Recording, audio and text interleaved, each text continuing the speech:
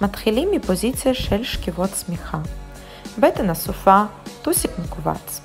ידיים קרובות לגוף, מרפקים צמודים לצידי הגוף ופונים לאחורה. בירידה כתף מעל השורש כף יד. יש לרדת כמה שאפשר לאט, לעלות בעזרת הברכיים.